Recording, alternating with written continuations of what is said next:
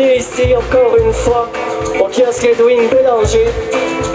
C'est toujours un plaisir de venir jouer pour un si beau public, toujours aussi festif.